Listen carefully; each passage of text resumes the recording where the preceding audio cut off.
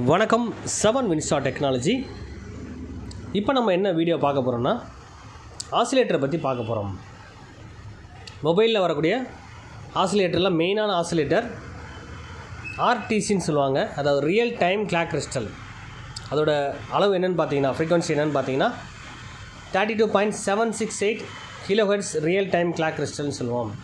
Alarm timing வரக்கூடிய oscillator இது மொபைலில் மட்டும் இல்லை வாட்ச்லேயும் கண்டிப்பாக அந்த ஆசிலேட்டர் இருக்குது அது பேஸே வந்து வாட்ச் தான். டைமிங் செட் பண்ணுறதுலேருந்து ஃபோனை ரன் பண்ணக்கூடிய ஃப்ரீக்குவன்சி எல்லாமே ரெடி பண்ணக்கூடியது இந்த ஆசிலேட்டர் இந்த அதாவது செகண்டுக்கு வந்து பார்த்திங்கன்னா முப்பத்தி ரெண்டாயிரத்தி எழுநூற்றி அறுபத்தெட்டு டைம் வந்து பார்த்திங்கன்னா சிக்னல் ஆசிலேஷன் பண்ணிகிட்ருக்கும் இந்த பின் டைப்பில் இருக்கக்கூடியதான் அந்த வைப்ரேஷன் கொடுக்கக்கூடிய கிறிஸ்டல் அப்படின்னு சொல்லுவாங்க. இந்த கிறிஸ்டல் கான்செப்ட் வச்சு தான் வந்து அந்த ஃப்ரீக்வன்சியை ரெடி பண்ணுறாங்க பேசிக்காக வாட்சில் இருக்க ஆசிலேட்டர் தான் இதே சேம் கான்செப்ட் தான். ரெண்டே ரெண்டு பின் டைப்பில் தான் தெரியும். அந்த பின்னோட வைப்ரேஷனை வச்சு தான் வந்து ஆசிலேட்டர் ஒர்க் ஆகுது. இப்போ இதுக்குரிய சப்ளை வந்து பவர் சப்ளைலேருந்து கொடுத்துருப்பாங்க. இந்த பவர் சப்ளை வழியாக தான் அந்த அவுட்புட் சிக்னலும் கிடைக்கும். இதை வச்சு தான் டோட்டலாக வந்து ஃபோனே ரன் ஆகுது. ப்ளஸ் ப்ளஸ் டைமிங் ஒர்க் ஆகுதுன்னு சொல்ல வரேன். நம்ம வாட்சிலேருந்து கையில் கட்டுற கடிகாரத்துலேருந்து வால் கிளாக் வரைக்கும் கண்டிப்பாக நம்மளுக்கு இந்த ஆசிலேட்டர் ரொம்ப முக்கியமான வேலை செய்யுது. இப்போ நான் உங்களுக்கு ஆல்ரெடி ஃபோனில் இருக்க அந்த ஆசிலேட்டரை பிரித்து காமிச்சிருக்கேன். இந்த இதில் வந்து கீபேட் ஃபோனில் இந்த ஆசிலேட்டர் நீங்கள் பார்த்துருப்பீங்க. ரெண்டு நாலு பாயிண்ட் வச்சுருப்பாங்க. இதில் மெயினாக வேலை செய்யுது ரெண்டே ரெண்டு பாயிண்ட் மட்டும்தான். அந்த கிறிஸ்டலை வச்சு தான் இது டோட்டலாக ஃபங்க்ஷன் ஆகுது. அதோட வைப்ரேஷனை வச்சு தான் மெயினாக வந்து வைப்ரேஷன் சிக்னல் தான் முப்பத்தி ரெண்டாயிரத்தி எழுநூற்றி அறுபத்தெட்டு வைப்ரேட் ஆகி தான் உங்களுக்கு வந்து அந்த சிக்னலை ரெடி பண்ணி கொடுக்குது. இப்போ இந்த ஆசிலேட்டரை வந்து நான் உங்களுக்கு பிரித்து உங்களுக்கு காமிக்கிறேன். சேம் இந்த டைப்பில் கண்டிப்பாக நீங்கள் பார்த்துருப்பீங்க. இந்த ஆசிலேட்டரை எங்கெல்லாம் நீங்கள் பார்த்துருக்கீங்களோ அதை பற்றி ஐடியா இருந்தால் கமெண்டில் உங்களோட கருத்துக்களை சொல்லுங்கள்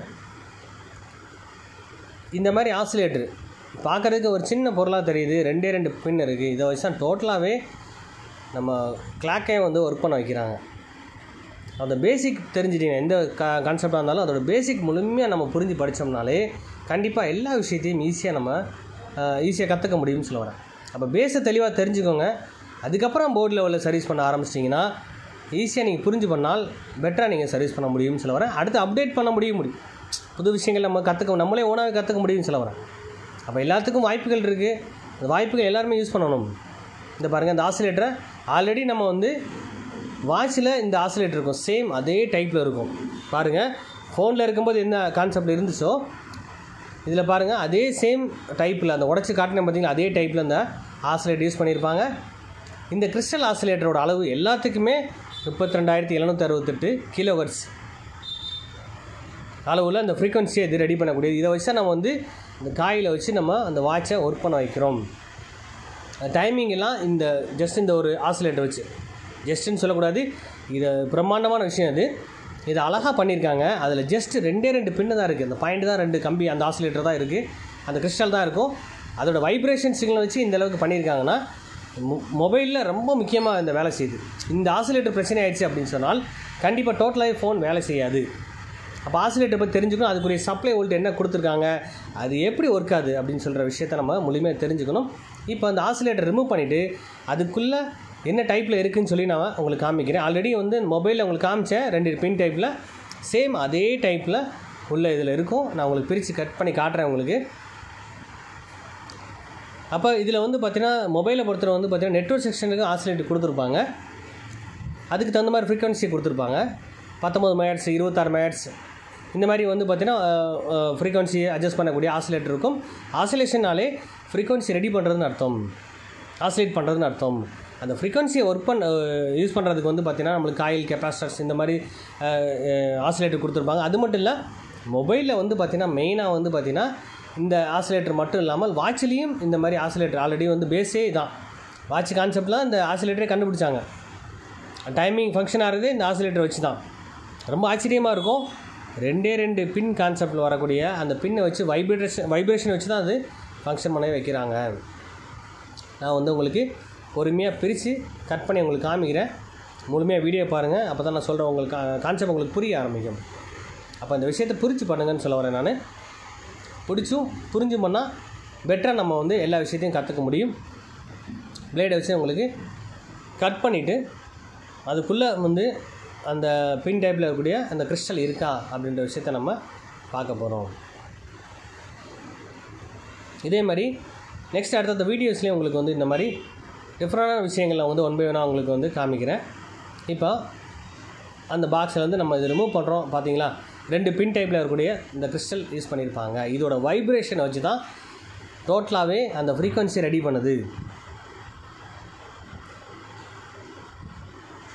இந்த டைப்பில் தான் நம்மளுக்கு வாட்ச்லேயும் யூஸ் பண்ணியிருக்காங்க மொபைல்லையும் இருக்குது அந்த thirty two point seven six eight kilo hertz real time clock crystal இந்த கிராக் கிறிஸ்டலை பற்றியும் அந்த வோல்டேஜை பற்றியும் நெக்ஸ்ட் நம்ம கிளாஸில் வந்து பார்த்திங்கன்னா மெயினாக அதுக்குரிய சப்ளை வோல்ட்டு இது ரெடி ஆனதான் பவர் ஐசி ரன் ஆகும். அதுக்கப்புறம் நெக்ஸ்ட்டு வந்து அந்த இருபத்தாறு மேக்ரிஸ்டல் ஆசிலேட்டர் நெட்ஒர்க் வரக்கூடிய அந்த ஆசிலேட்டரும் வேலை செய்யும்.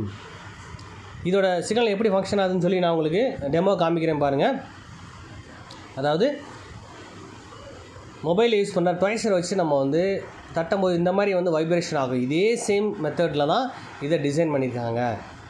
கிறிஸ்டலை வச்சு நம்ம வைப்ரேட் பண்ணும்போது இந்த வைப்ரேஷனோட கான்செப்ட்டு ஒரு செகண்டுக்கு முப்பத்தி ரெண்டாயிரத்தி எழுநூற்றி அறுபத்தெட்டு செகண்ட்ஸ் வந்து அந்த துடிப்பு இருக்குன்னு சொல்கிறாங்க இந்த துடிப்பு வச்சு அந்த ஃப்ரீக்வன்சியை ரெடி பண்ணுறாங்கன்னு சொல்லுவாங்க. அந்த டைப்பில் தான் இந்த ஆசிலேட் யூஸ் பண்ணி அதுக்கு சப்ளை கொடுப்பாங்க. பாசிட்டிவ் சப்ளை இது வந்து மொபைலில் வந்து பார்த்தீங்கன்னா பவர் சப்ளை ஏரியாவில் கண்டிப்பாக யூஸ் பண்ணியிருப்பாங்க இந்த எல்லா ஃபோன்லையும் நீங்கள் எடுத்து எந்த ஃபோனில் இருந்தாலும் கண்டிப்பாக இந்த ஆசிலேட் யூஸ் பண்ணியிருப்பாங்க இந்த ஆசிலேட்டர் ஃபங்க்ஷனை வச்சு தான் நம்ம டைமிங் செட் பண்ணுறது ஆட்டோமேட்டிக்காக டைமிங் ஓடுறது எல்லாமே வந்து இதனால தான் ரன் ஆகுது அதுமாதிரி ஃபோன் ரன் பண்ணுறதுக்கும் முக்கியமான பங்கு இது வகிக்குது. இந்த ஆசிலேட்டரை வந்து நம்ம வந்து லேசாக நினச்சிடக்கூடாது. ஜஸ்ட் ஒரு ரெண்டு பின் டைப்பில் இருக்கே சார் இந்த அளவுக்கு வேலை செய்தான்றது. நான் டேரெக்டாகவே ப்ராக்டிக்கலாக உங்களுக்கு செஞ்சு காமிச்சிருக்கேன் நான். இந்த ஃப்ரீக்வன்சி மெத்தடு அதாவது நம்ம ஃப்ரீக்வன்சி வச்சு தான் பெரும்பாலும் இந்த ஃபோன் ரன் ஆகுது. அந்த சிக்னலை வச்சு அந்த சிக்னல் ஃப்ரீக்வன்சி எப்படி ட்ரேஸ் பண்ணுறது ஆசிலோஸ்கோப் இல்லாமலே நம்ம நார்மலாகவே ட்ரேஸ் பண்ண முடியும். அதை ட்ரேஸ் பண்ணி ஃபோனில் இருக்க கம்ப்ளைண்ட்டை நம்மளால் கண்டுபிடிக்க முடியும். இப்போ அந்த பின்னில் இருக்கக்கூடிய ரெண்டு பாயிண்ட் ஆல்ரெடி நான் பிரி பிரித்து காமிச்சிருப்பேன். அதேமாதிரி கீபோர்டு ஃபோனுக்கும் இந்த மாதிரி அந்த ஆசிலேட் ஆல்ரெடி காமிச்சிருப்பேன் உங்களுக்கு கண்டிப்பாக power supply area power supply பக்கத்தில் இருக்கும். ப்ளஸ் இன் அவுட்டுன்ற விஷயம் பவர் சப்ளைக்குள்ளேயே நடக்கும் அது. அந்த பவர் சப்ளை வரக்கூடிய சப்ளை எடுத்துகிட்டு வைப்ரேஷன் தொடர்ச்சியாக நடக்கும். இது வந்து மேக்னட் ஆகி அதாவது நம்ம காயில் வந்து நம்மளுக்கு மேக்னட் அந்த சப்ளை மூலமாக மே காந்தமாக்கி அதன் மூலமாக வைப்ரேட் பண்ணிக்கிட்டே இருப்போம். தொடர்ச்சியாக வந்து அந்த காய் அந்த ஆசிலேட்டருக்கு சப்ளை கொடுத்துட்டே இருப்பாங்க. கொடுக்க கொடுக்க அது வைப்ரேஷன் ஆகிட்டே இருக்கும். அந்த வைப்ரேஷனோட கான்செப்ட் வச்சு தான் டைமிங் உங்களுக்கு ஒர்க் ஆகிட்டுருக்கு இந்த வீடியோ உங்களுக்கு பிடிச்சிருந்தா லைக் பண்ணுங்கள் ஷேர் பண்ணுங்கள் கமெண்ட் பண்ணுங்கள் சப்ஸ்கிரைப் பண்ணுங்கள் பெல் பட்டனை மறக்காமல் கிளிக் பண்ணுங்கள் தேங்க்யூ ஃப்ரெண்ட்ஸ்